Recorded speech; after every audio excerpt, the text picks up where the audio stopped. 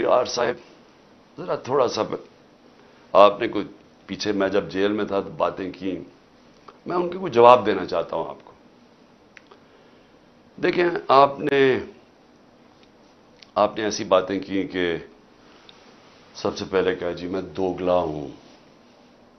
कि मैं एक तरफ़ कहता हूँ, फौज मेरी है, और दूसरी तरफ़ मैं उसकी तनकीद करता हूँ या जो भी बुरा भला कहता हूँ। आपने कहा कभी फौज को दुश्मन ने इतना नुकसान नहीं पहुँचाया जितने मैंने मैंने पहुँचाया।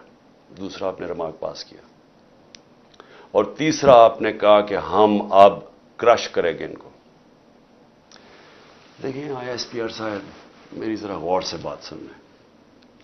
आप जब पैदा भी नहीं ना हुए थे, तब मैं अपने मुल्क को दुनिया में रिप्रेजेंट करता था। मैंने अपने मुल्क का दुनिया के अंदर सर ऊपर किया, इज़्ज़त दिलवाई अपने मुल्क को।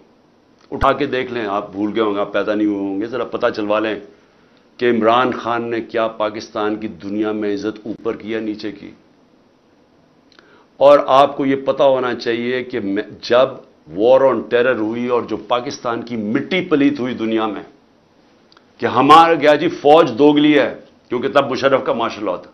ये हमारे से झूठ बोलती है, करती कुछ है, कहती कुछ है डॉलर्स हमारे से लेती है और दोगली गेम खेलती है।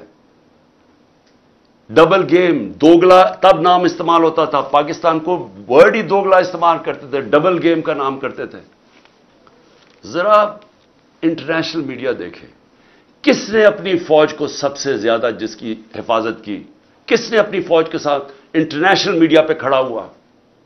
जब उसामा बिन लादेन जब वो एबटाबाद में जो वो हादसा हुआ, आपको पता है, बैरून मुल्क पाकिस्तानियों के ऊपर जो गुजरिया, आप अंदाज़ा नहीं लगा सकते। उन्होंने कहा, हमारे से पैसे ले रहे हैं और उसी को अपने एकेडमी के पास एबटाबाद में पाला हुआ है। जो हमें जिल्लत मिली तब, कौन बोला आपके लिए? यहाँ तो कोई सांप सूंघ गया था यहाँ तो आर्मी चीफ के मुँह से चून ही निकल रही थी यहाँ तो कोई बोलता ही नहीं था, ना प्राइम मिनिस्टर तब वो गिलानी था ना जरदारी चार पाँच दिन सन्नाटा छाया हुआ था, वो आके मार के चले गए। हमारे मुल्क में दुनिया में जलील हुए हम। मैं बोला था, मैं सारी जगह अपनी फौज को डिफेंड किया है। मेरे साढ़े तीन साल में देखें कि पाकिस्तान फौज का इमेज ऊपर था या नीचे था।